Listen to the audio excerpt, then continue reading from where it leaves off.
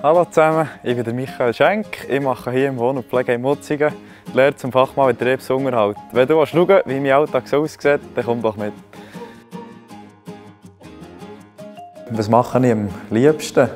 Ja, ich sage immer, das ist eigentlich so ein bisschen die Abwechslung, die zu unserem Job gehört. Und das ist eigentlich auch das, was ich am liebsten habe. Darum kann ich eigentlich auch nicht sagen, was ich für eine Arbeit habe, die ich am liebsten mache. Das ist eigentlich wirklich die Abwechslung, das Verschiedene, was man tagtäglich macht. Genau.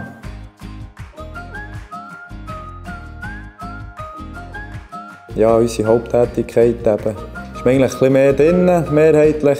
Da gehört sicher die Reinigung dazu, die Pflege des Gebäudes, von den Sanitäranlagen und so.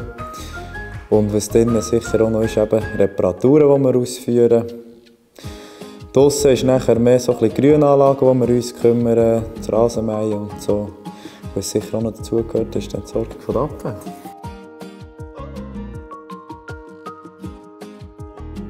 Äh, für meine Lehre sollte man sicher zuverlässig sein, wie eigentlich allen Orten auch. Äh, was sicher von Vorteil ist, ist das handwerkliche Geschick und das praktisch-technische Verständnis. Und sicher, dass man fit ist, körperlich belastbar ist.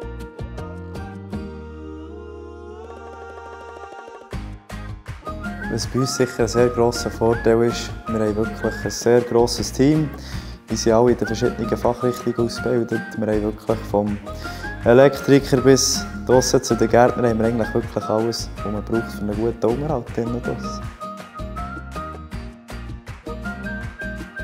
Wenn es dir gefallen hat, dann bewirb dich doch bei uns. Wir freuen uns auf dich.